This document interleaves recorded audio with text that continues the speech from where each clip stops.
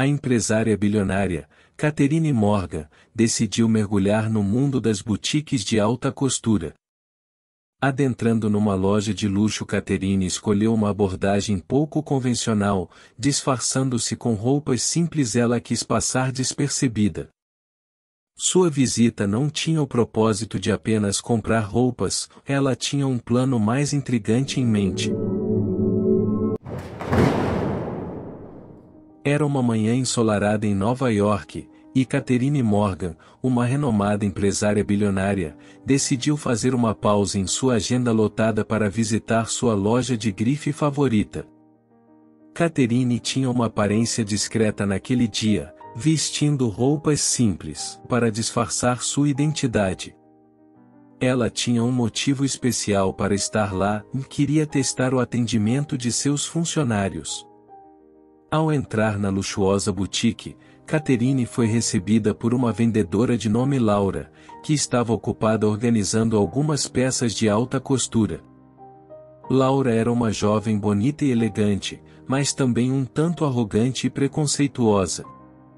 Catherine começou a explorar a loja, examinando os vestidos deslumbrantes e os acessórios extravagantes. Ela escolheu algumas peças que chamaram sua atenção e as levou até o balcão, onde Laura estava agora disponível para atendê-la. A vendedora olhou para Catherine de cima a baixo, notando sua aparência simples, mas decidindo subestimar sua aparência. Posso ajudar você? Laura perguntou com um sorriso falso.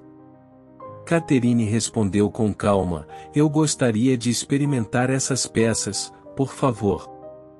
Ela entregou as roupas a Laura, que as pegou sem muita consideração e se dirigiu para o provador com Caterine.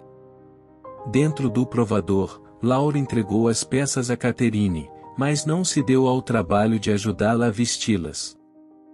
Enquanto Caterine experimentava os vestidos, Laura sussurrava com uma colega vendedora sobre como aquela cliente parecia estar tentando impressionar as pessoas com suas roupas caras. Caterine ouviu os comentários, mas não disse uma palavra. Ela vestiu um dos vestidos e saiu do provador para se olhar no espelho. A peça era perfeita, como esperado. O que você acha deste? Catherine perguntou a Laura, esperando uma opinião profissional. Laura olhou para Catherine, revirou os olhos e disse de maneira condescendente: É bom, eu suponho. Catherine apenas assentiu e voltou para o provador para experimentar as outras peças. Enquanto ela continuava a selecionar algumas roupas, Laura percebeu que outros clientes estavam olhando para Catherine e sussurrando entre si. Ela começou a sentir uma pontada de desconforto, mas ignorou. Quando Catherine finalmente terminou suas compras, ela se aproximou do balcão de pagamento e disse a Laura, com um sorriso gentil: Eu vou levar todas essas peças, por favor. Laura ficou chocada.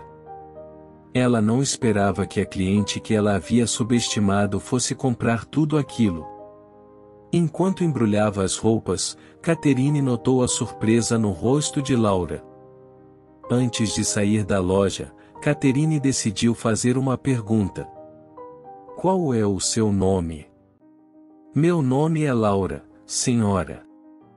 Laura, você pareceu surpresa quando decidi comprar todas as peças. Você achou que eu não poderia comprá-las? Catherine perguntou com um sorriso sutil. Laura, sem graça, respondeu. Bem me desculpe, senhora. Foi um mal-entendido. Eu não deveria ter pensado dessa forma. Catherine observou Laura por um momento antes de continuar. Você sabe quem eu sou? Catherine perguntou, curiosa. Laura respondeu com sinceridade: Não, senhora, eu não sei.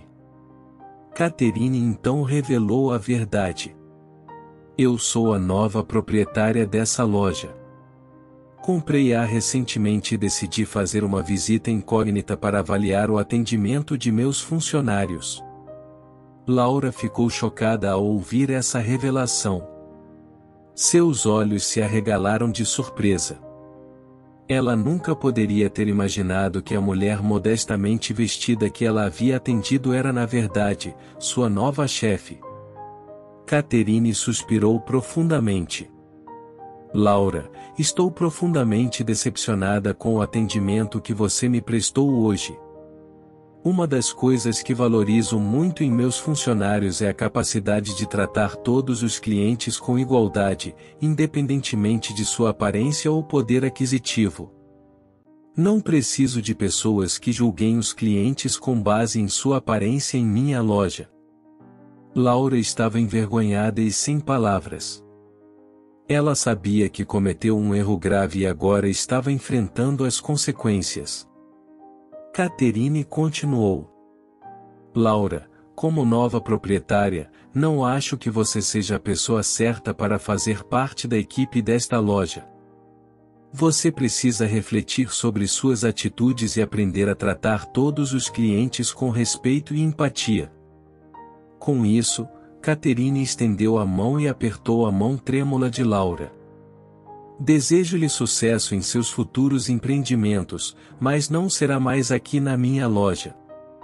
Laura abaixou a cabeça, reconhecendo que cometeu um erro que custou seu emprego. Laura se retirou da loja com seu coração pesado de arrependimento.